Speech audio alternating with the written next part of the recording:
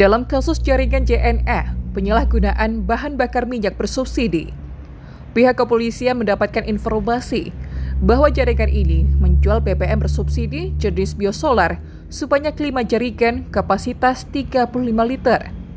Untuk satu jaringan dihargai Rp250.000.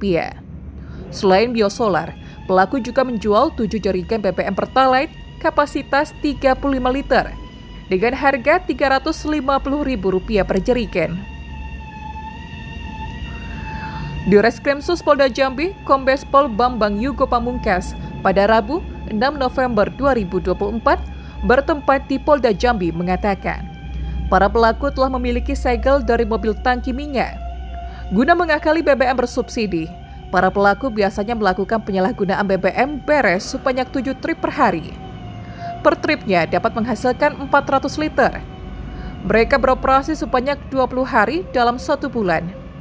Jika aktivitas ini berjalan selama satu tahun, maka kerugian yang dialami negara sekitar 6 miliar rupiah. Selain itu, Kombes Pol Bambang juga mengatakan pihaknya telah menetapkan JNA sebagai DPO dan akan mendalami lebih jauh terkait kasus ini. Yang pertama, uh, terkait dengan bagaimana mengakalinya.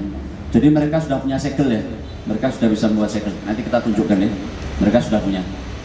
Uh, mereka sudah punya dan mereka me mengembalikan kembali kondisi awal.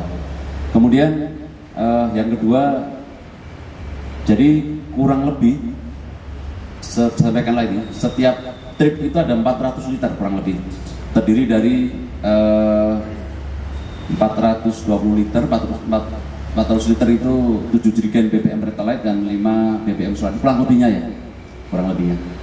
Dan kemudian apabila kita kalikan ada dua per hari itu kali 7 trip ada 2800 liter dikali 20 hari.